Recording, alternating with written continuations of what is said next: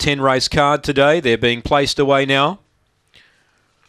Aston Bella, box number three, the fave. Green lights turned on. Lure rolling, set to run.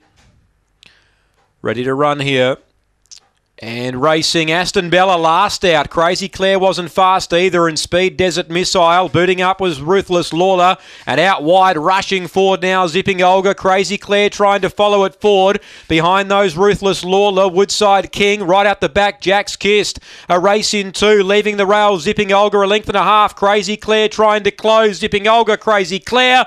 Zipping Olga defeats Crazy Claire. Aston Bella after getting into bother runs third. Then came Desert Missile, Woodside King, Zipping Kim, Ruthless Lawler, and Jack's Kiss was last in. It's back to back wins for Zipping Olga. Number seven was too strong here for Crazy Claire, who got up on the inside and challenged strongly. 23 10's a good run. Three third, Aston Bella. Five is fourth, Desert Missile. 23.10 the run, a length by four here.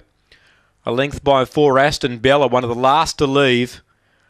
Zipping Olga progressed forward three wide. Crazy Claire followed her forward, or followed him forward, but wasn't able to run him down close to home. 14.19 the run home. 23.10 was the overall time here after race number four from Gawler.